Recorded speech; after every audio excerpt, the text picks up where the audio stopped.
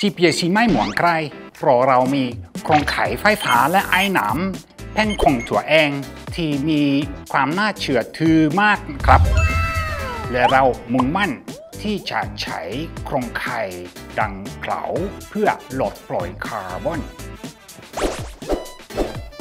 ที่นี่มักจะพูดพื้นที่อุตสาหกรรมที่ใหญ่ที่สุดในประเทศไทย New technologies are developing.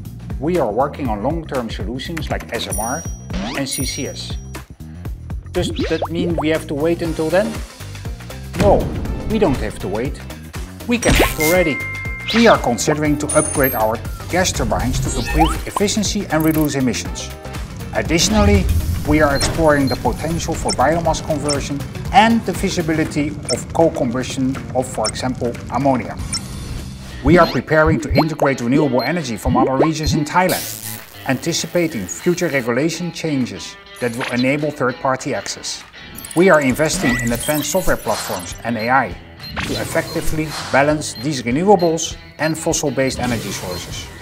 And we are actively engaging with our customers to support their decarbonization efforts. We are not waiting for the change. We are driving it